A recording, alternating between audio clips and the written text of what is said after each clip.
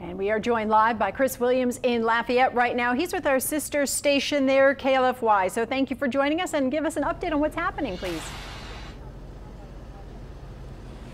Well, the good news is we've not had a lot of rain today. We've had some passing showers. The wind has picked up a little bit, but at this site here in Youngsville, just outside of Lafayette, people have been coming here and filling up sandbags. You can see the traffic is backed up with people coming out here wanting to protect their homes from the potential floodwaters that may come. But one of them is Victor. Victor, how long have you been coming out here to get sandbags today? About an hour, 45 minutes. Came out, filled about 12, 15 bags. We see people here at this city facility. They're, they're filling these bags up quickly, trying to get out and, and fix their home up, be ready to go. How concerned are you about water coming into your place? I mean, we haven't had flooding there yet, you know, in seven years, but we got to be ready. Have to be prepared, you know, doing what we can to save our home and, and keep it, you know, in good shape. A second ago, you were joking about how the weather is right now. Does this lull you into thinking that it's not going to be as bad as you worst fear, or do you still kick it into high gear? Oh, I was in high gear. This is the calm before the storm. You know, we got to get ready for it. And you see people over here. Victor, we wish you luck. We know you want to get home and get those sandbags at your place here. You can see this place here. Let's come over here, Carly. Hi, Miss. We're live in New Orleans right now on Eyewitness News. What's your name? April April, where do you live? in Broussard. So, how many sandbags do you need to get to make sure your place is safe?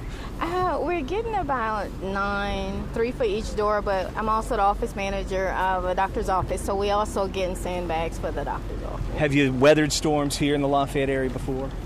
This is my first in Broussard, but I'm originally from Jeanerette and it floods there.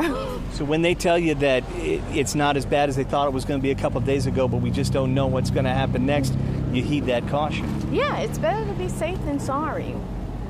Well, I know you want to get going because you got to get home and take care of the house there. But thank you so much for joining us. You can see, uh, again, I want to show you just how busy this place is. You can see cars parked up and down the road here. It's a gentleman coming out with a couple of young boys filling out some sandbags now. We want to make sure we stay well off the road and out of traffic so these good people of Youngsville can make sure they get the sandbags that they need. But you can see that the police are out here making sure that the traffic is moving smoothly at this area where people are really desperately wanting to make sure that they get all the sandbags they need before Barry moves in.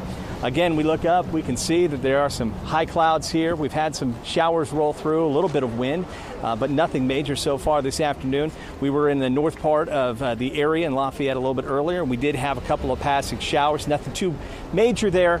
But again, people just waiting to see what Barry has in store for the Lafayette area. For now, I'm live in Youngsville. Chris Williams, I'm head back to you in New Orleans. All right, thanks.